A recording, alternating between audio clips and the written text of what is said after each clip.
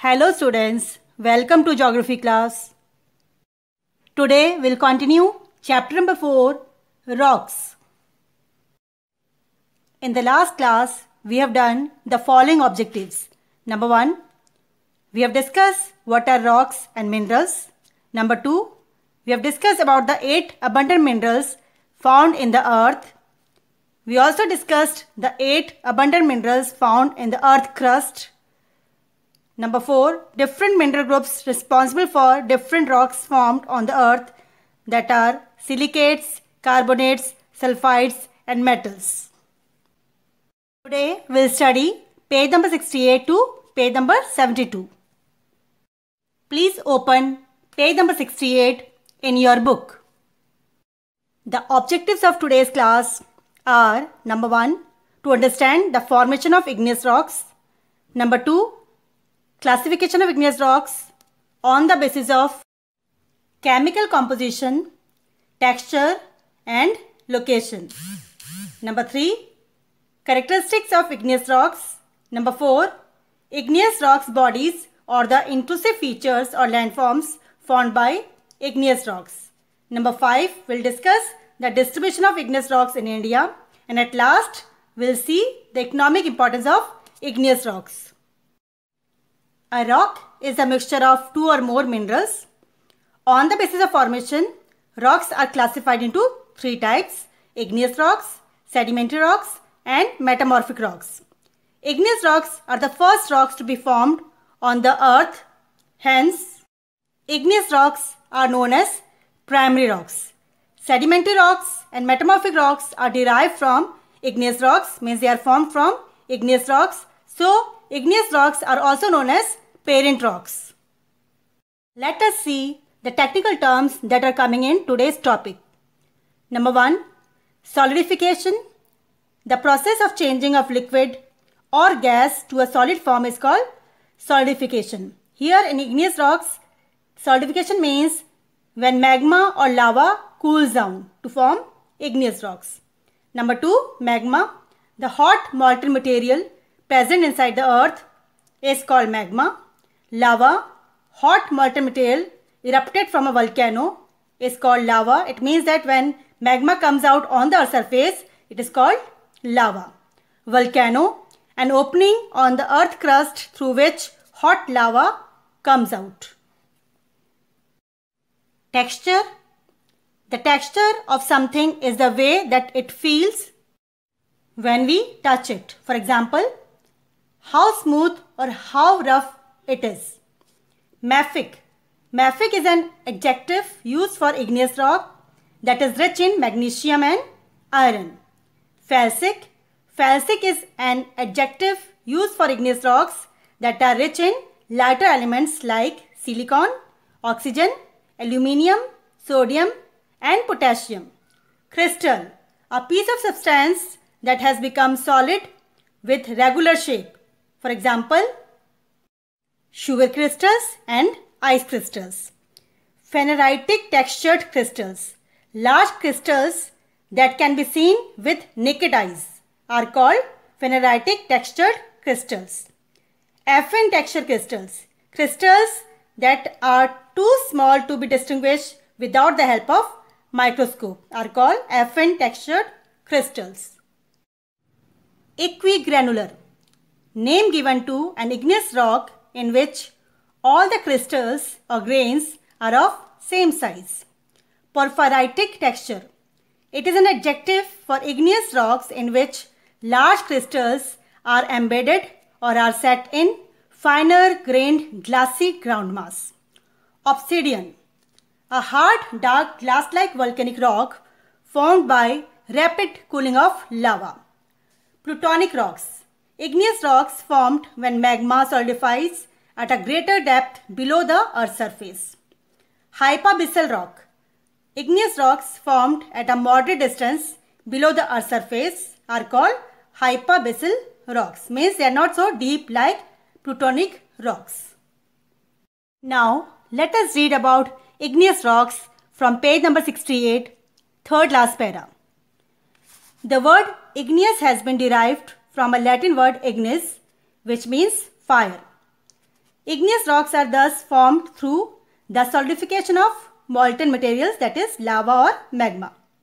All igneous rocks forming materials are liquid, hot and sticky.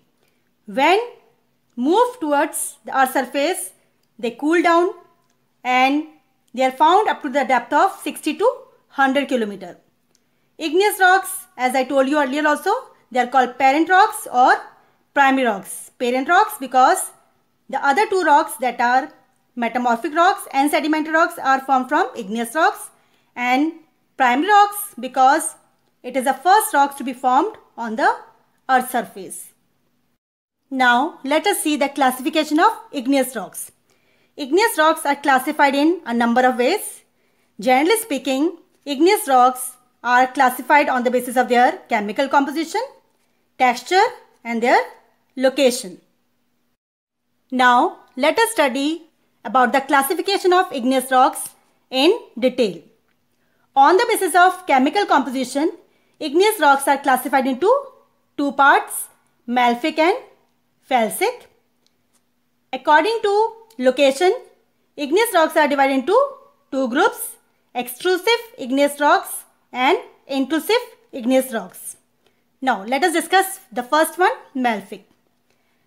Mafic igneous rocks are rich in ferromagnesium minerals. It means mafic rocks are rich in iron and magnesium. Felsic igneous rocks are rich in felspar, which is rich in lighter materials like sodium, calcium, potassium and silicates of aluminium. The extrusive igneous rocks are the igneous rocks which are formed on the earth's surface.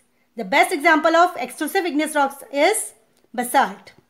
Whereas intrusive igneous rocks are the igneous rocks formed inside the earth. The best example of intrusive igneous rocks is granite.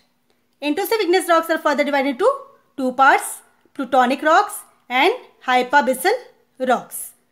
Plutonic rocks are the rocks which are formed at a great depth.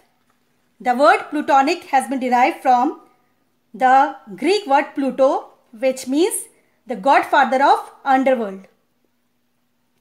So plutonic rocks are formed at a greater depth whereas hypabyssal rocks as we have discussed in the terms they are formed at a moderate depth.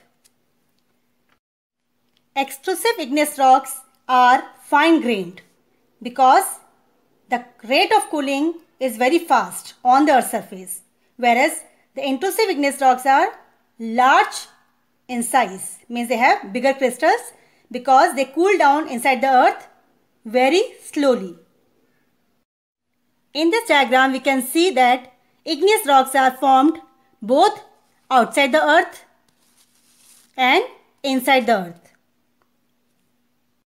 Inside the earth due to cooling of magma and outside the earth due to cooling of lava. In this way, you have understood that igneous rocks are mainly formed by cooling of magma and lava. Now, let us discuss the classification of igneous rocks on the basis of texture from page number 69. Texture of rocks refers to size and patterns of mineral crystals present in rocks. As we have discussed earlier, rocks can be fine in texture, rocks can be coarse in texture. The size of mineral crystals in an igneous rocks depends largely upon the rate of cooling of magma or lava.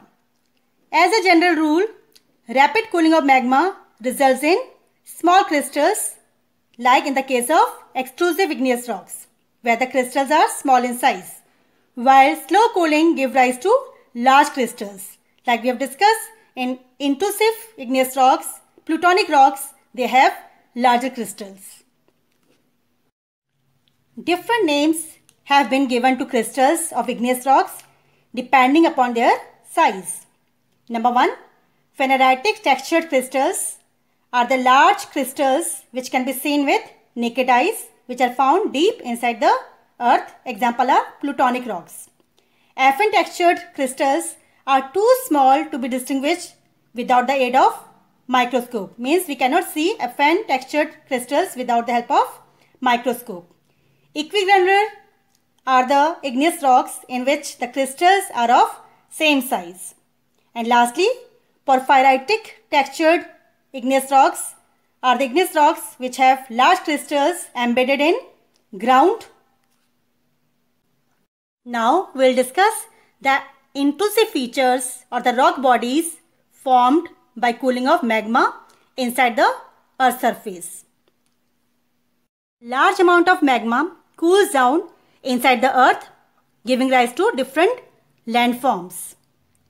When the magma solidify or cools down at the base in the form of a dome, it is called batholith. Lith here means rock. When magma cools down in a vertical vent, the landform is called dike. Sometimes magma cools down in a horizontal crack parallel to the earth surface. It is called sill. Sometimes the magma it's cool down in a dome shaped structure or dome shaped vent inside the earth. This feature is called laccolith. Sometimes we can see here that magma it cools down in a saucer shaped depression. It is called lopolith. But if magma gets a vent which is zigzag like in this picture or we can say when magma solidifies or cool down in anticline and syncline it is called phacolith. Now let us see the distribution of igneous rocks in India. Igneous rocks cover almost 10 lakh square kilometer area in India. In the ancient time, it is supposed that the peninsular plateau of India was having many active volcanoes which has given rise to the igneous rocks. The major areas where igneous rocks are found in India are the Deccan Plateau which includes the states like Maharashtra, Madhya Pradesh, Chhattisgarh, parts of Odisha, Telangana, Andhra Pradesh and Karnataka. Malwa Plateau which covers the border of Rajasthan and Madhya Pradesh and Chota Nagpur Plateau which mostly cover Jharkhand. Now let us read about the characteristics of igneous rocks from page number 70. Number 1. Igneous rocks are hard, massive, massive means large and compact means they are very dense. So igneous rocks are hard, massive and compact. Igneous rocks contain crystals whose size depends upon the rate of cooling of lava or magma. Slow cooling leads to large crystals. Number 3. There are no layers in igneous rocks. Number 4. There are no fossils in igneous rocks because all the fossils are burnt. Number 5. There are no pores in igneous rocks means igneous rocks are impervious. They do not allow the water to pass through them. Number 6. Igneous rocks are not easily weathered because they are very hard. So they are not easily broken down. Number 7. Igneous rocks are quite rich in minerals like iron ore, magnesium, aluminium, copper, gold, silver, etc. Your homework is to read and remember today's topic. You have to solve exercise number 2nd, page number 80, question number 4, 6th, 7th, 5th part and 7th part. Exercise 3rd, question number 1 and 2. With this, we end today's topic.